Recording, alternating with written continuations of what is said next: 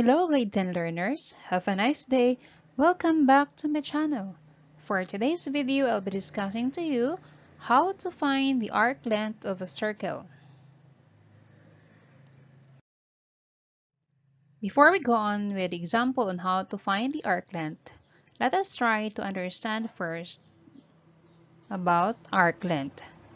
Arc length is the distance between two points along a section of a curve. So if we have here a circle, circle C, we have here arc, arc AB. Talking about arc length, that is the distance from point A to point B. Or in other words, we will be determining the length of the arc. So, in here, our arc length is this one from point A to point B. Now, the length of an arc can be determined by using the proportion A over 360 is equal to arc length over 2 pi r, where this symbol, cursive for letter L, small letter L, that is arc length. And A, this one, refers to the degree measure of the arc, while R is the radius of the circle. Of course, we all know that pi has an approximate value of 3.1416. Okay, with this proportion, we can actually shorten the solution. Okay, we can derive this proportion so we can have right away the formula in finding the arc length. So once we multiply this or cross multiply, we will have 360 arc length that is equal to a2 pi r. Then we have to divide both sides of the equation by 360. So we'll have arc length is equal to 2a pi r. We can still simplify this further because we have here 2 and 360 can be factored out as 180 times 2. So we can divide the common factor which is 2. And finally, we will be using this derived formula arc length. So in here in our numerator we only have a pi r. In our denominator we only have 180. So instead of using this one because this is quite long, okay, I give this derived formula already to you for your guidance. So we will be using this formula in finding the arc.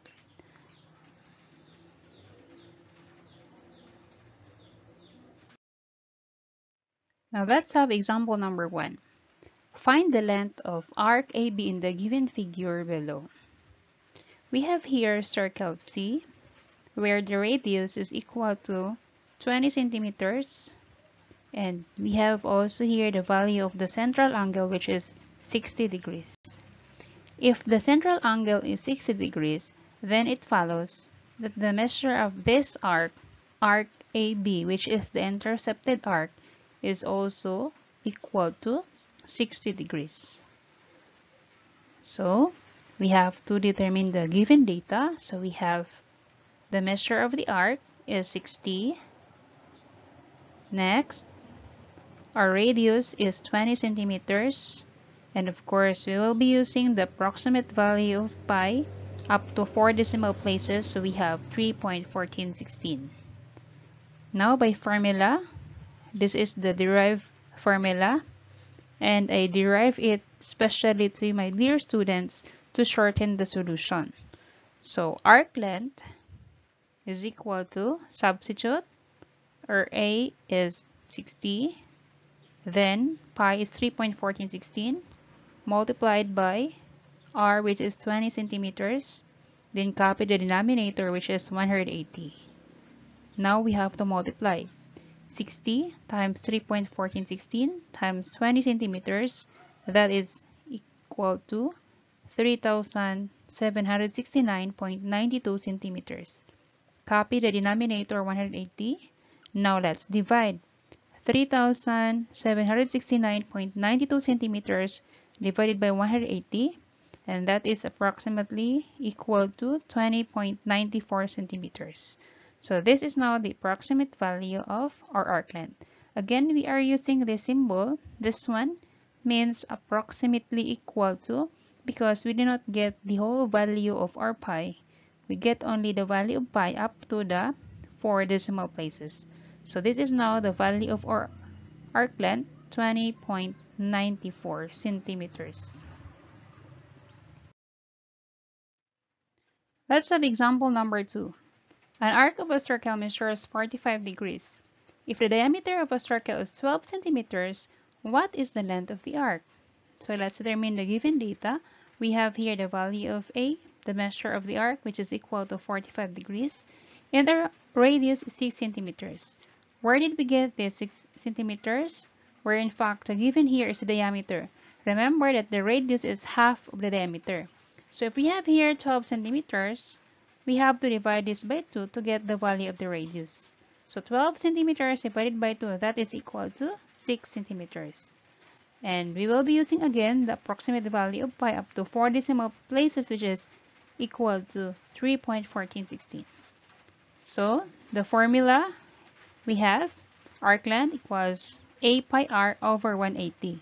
Now let's substitute. Our a is equal to 45. Approximate value of pi is 3.1416 and the value of r is 6 centimeters.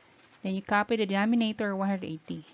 Now we will multiply 45 times 3.1416 times 6 that is equal to 848.232 centimeters. Then divide by 180 so we have the approximate value of 4.71 centimeters. We'll just round our final answer up to two decimal places or in the hundredths place. Thank you so much for watching guys. Kindly like and comment if you have questions or clarifications regarding the video. Kindly share to other students for them to learn or master the lesson. And please don't forget to subscribe to be updated for more math lesson videos and turn on the bell for notifications.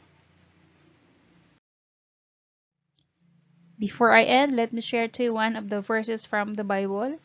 And we know that all things work together for good to them that love God, to them who are called according to his purpose. Romans 8 verse 28.